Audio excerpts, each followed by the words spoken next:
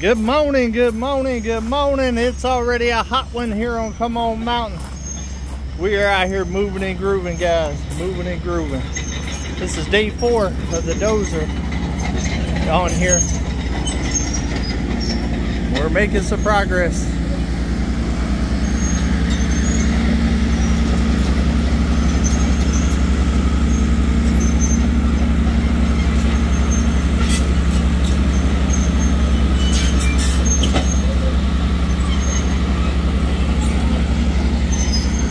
Little sneak peek, little sneak peek. I got Uber over here warming up. Me and him talked yesterday. He's clearing out a lot of the undergrowth over here. We're leaving a lot of bigger trees over here in this area.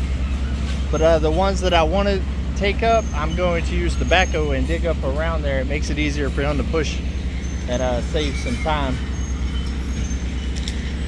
But uh, yeah, we're starting to get the view that I wanted. It's been a it's been a busy busy three days so far, and today is going to be a big one. Today I should be able to have the final view of the mountain, so that's exciting. Hopefully we don't have to come back for day five, but we'll see. Might have to have to do a couple hours for day five. Maybe not. We'll see where we're at at the end of the day. Hopefully we can get it because it's uh, it's expensive give y'all a little bit of sneak peeks. So what we're doing, I'm taking it all the way to this tree stump right here where we cut this big widowmaker down and kind of bringing it right through here. I want to leave all of this green because the road that goes down to the power line is right there and I want to keep some privacy because my neighbors do use this road to check on their cows and hay sometimes just to keep the privacy over here in this section right here. He is definitely, definitely making some progress over here. For sure. Yesterday I went ahead and moved the breeder rabbits over here by the goats. Got them out of the way.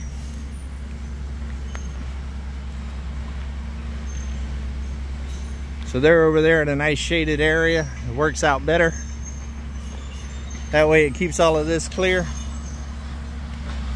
But it is definitely opening it up. This right here is what I mean where the road is.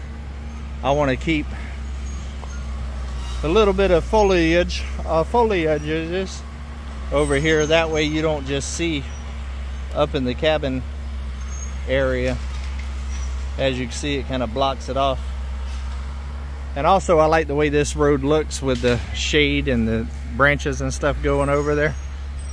Even in the hottest part of the day, it's real nice on this street right here. Take y'all back to the back, give y'all another little sneak peek. Dozer 1 video should come out today as long as I don't have no troubles uploading to YouTube like I did last week with the checks and stuff.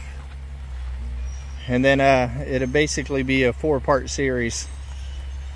Kind of moving all along this, a lot of work. A lot of work, a lot of filming, a lot of footage.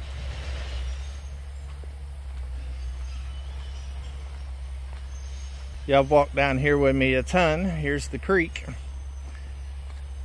I had him clear out a little section right here and leave some of the trees for shade because across the street is where the pond's gonna go so it'd be nice to have a nice little uh, grilling area right here where the creek comes across when it's flowing it'll be a nice place to set up have some barbecues and stuff and be able to enjoy the lake or the pond as well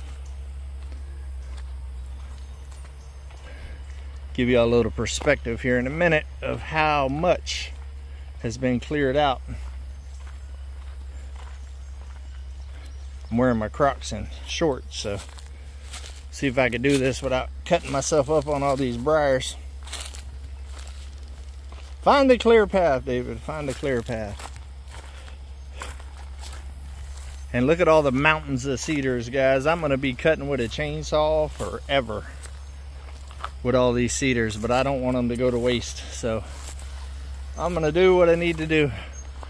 Look at this though, guys. Look how much has been cleared. All the way to the property line, way over there. And through here. And if you look right over there is the tiny house. And the temporary sheds and stuff. So it is a ton. A ton. He has been doing his thing with that little 450 John Deere. For sure. He's doing real good work. Uh, I will be uh, end up getting all of his contact information and putting it uh, in the description of the Dozer series video. That way if anybody wants to hire him, they can because he's a real good guy. Look at this. Insane, guys, insane. I'm happy. I'm definitely, definitely happy.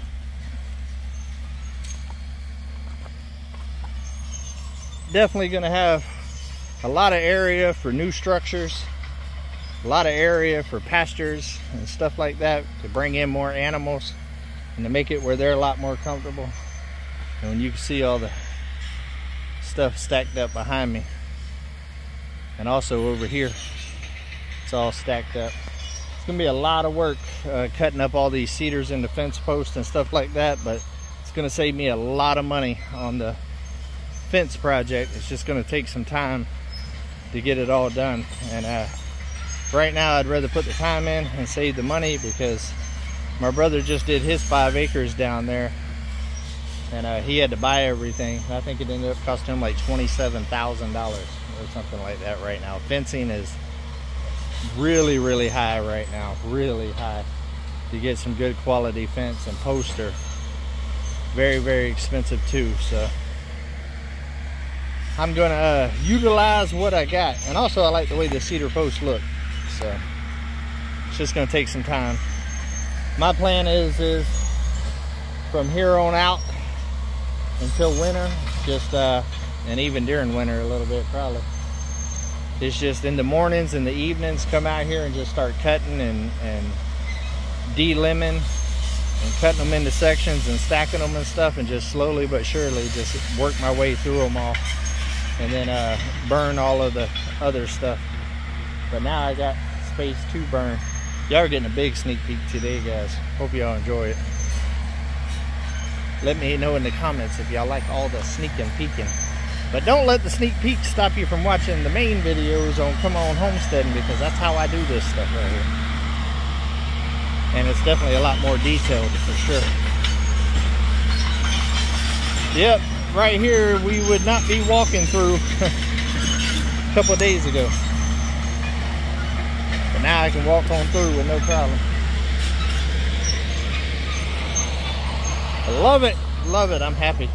I've been smiling for a couple days now, guys. It's been hot. It's been like 100 degrees plus with a lot of humidity. But just been out here smiling, enjoying it. And uh, I haven't had to do as much work with Uber as I thought I was going to have to do. Today is probably going to be the main day, and yesterday was a little bit. Uh, he's pretty much been handling it. Uber would have just been in the way with a lot of it. I didn't want to uh, try to work too close with him when he pushing down trees and stuff like that, and him having to wait on me and everything. So I've been trying to stay out of the way as much as possible and kind of work on the outer edges as much as possible. Whew, happy though. Uh, well, as the rest of the week, guys, this ain't going to be a very long one.